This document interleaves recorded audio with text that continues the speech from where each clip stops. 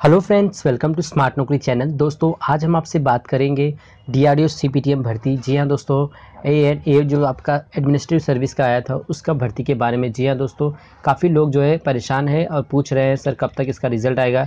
क्या इसका expected date है? तो दोस्तों, आज हम इस वीडियो में आपको चर्चा करेंगे इसी के बारे में। तो चलिए स्टार्ट करते हैं इस वीडियो को देर ना करते हुए। सबसे पहले दोस्तों, अगर अभी तक आपने स्मार्ट न्यूज़ चैनल को सब्सक्राइब नहीं किया है तो आपसे रिक्वेस्ट है कि चैनल को सब्सक्राइब कर लीजिए, क्योंकि आपको स्मार्ट न्यूज़ चैनल पर लेटेस्ट अपडेट हमेशा सबसे आगे मिलती है। और साथ ही दोस्तों, जब भी कोई नया सरकारी फॉर्म आता है, चाहे उसका नोटिफिकेशन आ जाए चाहे उसका रिज़ल्ट हो, चाहे कट ऑफ़ हो, कोई भी चीज़ अगर सरकारी वेबसाइट पर आती है या कोई ऑफिशियल अपडेट आता है तो उनको सबसे पहले उसका नोटिफिकेशन आपके लिए लेकर आते हैं स्मार्ट नौकरी चैनल पे। साथ ही दोस्तों, हम आपको यहाँ पे मदद करते हैं पढ़ने में स्मार्ट तरीके से ताकि आपको आसानी से एग्ज़ाम जो है कॉम्पिटेटिव एग्ज़ाम आप क्रैक कर सके। तो आइए स्टार्ट करते हैं अब इस वीडियो को। तो दोस्तों, सबसे पहले चीज़ ये कि डी आर एम ए जो भर्ती चल रही है, उसका जो मैं आपको जो है, थोड़ा डिटेल में बता देता हूँ कि 224 पोस्ट के लिए जो है आपका ये वैकेंसी थी। जी हाँ दोस्तों, जिसका एग्ज़ाम जो आपका चला, वो था 17 से लेके 23 नवंबर तक। जी हाँ दोस्तों 17 से लेकर तेईस नवंबर के बीच में आपका एग्ज़ाम हुआ और ये एग्ज़ाम जो है काफ़ी दो से तीन शिफ्ट के बीच में हुआ अलग अलग सेंटर्स पे हुए, जो ऑल ओवर इंडिया था सेंट्रल गवर्नमेंट की जॉब है और काफ़ी लोग जो है इस फॉर्म के लिए जो है अप्लाई किए थे। वैसे देखा जाए दोस्तों, औसतन जो है कम लोग इसमें अप्लाई करते हैं, बट इस बार जो दो हज़ार उन्नीस का एग्ज़ाम हुआ, उसका जो इस बार रिकॉर्ड निकाला गया तो इस बार जो है काफ़ी बच्चों ने जो इस एग्ज़ाम में पार्टिसिपेट किया।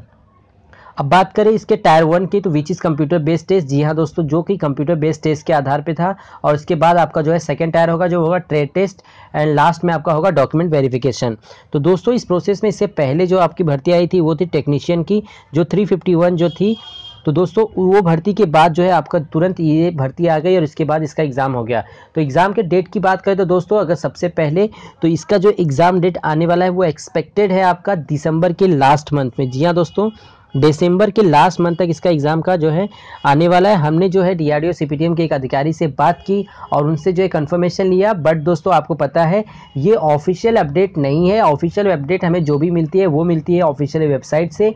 ये हमने सिर्फ़ अपने सिर्फ़ एक जो है सूत्रों जैसे हम कहते हैं कि एक अधिकारी जो है हमारे थोड़े रिलेटिव्स में लगते हैं, उनसे हमने अधिकारी से जो है बात की कि, सर, क्या एक्सपेक्टेड है? कब तक जो है इसका रिज़ल्ट आ सकता है? तो उन्होंने बताया कि दिसंबर के लास्ट वीक तक जो है आप एक्सपेक्ट कर सकते हैं D R D O A N A जो आपका है एडमिनिस्ट्रेटिव वाला, इसका जो है रिज़ल्ट आ जाएगा। और आपको दोस्तों जाने की कहीं ज़रूरत नहीं है। जी हाँ दोस्तों, आपको सिर्फ़ और सिर्फ़ डब्ल्यू डब्ल्यू डब्ल्यू जी हाँ दोस्तों, मैं आपको ऑफिशियली वेबसाइट बता रहा हूँ D R D O dot G O V जी हाँ दोस्तों जी ओ वी जो होता है, आपका गवर्नमेंट होता है गवर्नमेंट वेबसाइट तो आप W W dot D R D O dot G O V dot in इसी पे आपको जाना है और यहीं पे आपको मिलेगा C P T M zero nine का ए एन ए जो आपका भर्ती है, उसका रिज़ल्ट उम्मीद करता हूँ दोस्तों, ये जानकारी और वीडियो पसंद आया। वीडियो अच्छा लगा तो इस वीडियो को लाइक करना ना भूलें। जानकारी पसंद आई हो तो इस वीडियो को अपने दोस्तों के साथ ज़रूर शेयर कीजिएगा। तो मिलते हैं अपने नेक्स्ट वीडियो में एक नई जानकारी, एक नई अपडेट के साथ। थैंक यू सो मच दोस्तों फॉर वॉचिंग दिस वीडियो